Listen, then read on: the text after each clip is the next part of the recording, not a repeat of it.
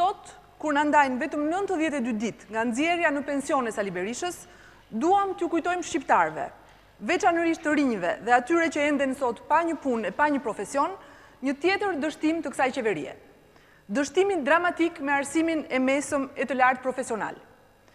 Në fushatat e vitit dy mijë e pesë dhe dy mijë e nëntë, Sali Berisha premtoi se do të bënte çudira me këtë sektor.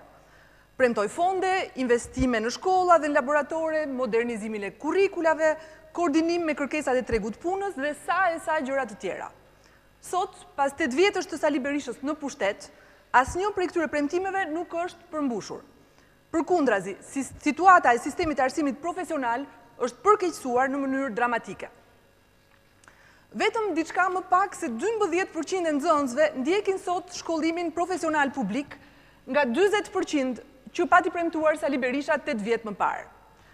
Buxheti për arsimin profesional jo vetëm që nuk është rritur, por është ulur në mënyrë dramatike, nga shtatë për qind e totalit të buxhetit të arsimit, tetë vjet më parë, kur Sali Berisha erdhi në pushtet, në vetëm pesë pikë një për qind në vitin dy mijë e trembëdhjetë. Qeveria Berisha dështoi edhe ta modernizonte e t'ia përshtaste sistemin e arsimit profesional kërkesave të kohës dhe të tregut punës. Pra, Sali Berishës nuk i mjaftuan tetë vjet në pushtet për të hartuar qoftë edhe një strategji për rifreskimin e kurrikulave. Ky dështim ka krijuar sot një situatë ku edhe pse në Shqipëri ka mbi një milion të papunë, shumë sipërmarrës hasin vështirësi të jashtëzakonshme për të gjetur punonjës për bizneset e tyre, Thjesht edhe vetëm sepse mungon krahu i punës i kualifikuar. Madje, shumë investitorë janë të detyruar të trajnojnë vetë punonjësit e tyre, sepse sistemi arsimor profesional thjesht nuk e ofron këtë mundësi.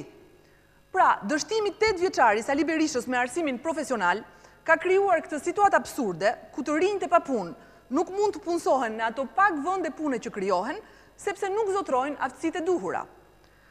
Në programin tonë për një Rilindje Shqiptare, arsimi profesional do të jetë një nga instrumentet më të rëndësishme në luftën kundër papunësisë dhe në rrugën e zhvillimit ekonomik. Ne do të riorientojmë arsimin profesional drejt nevojave reale të tregut të punës në Shqipëri.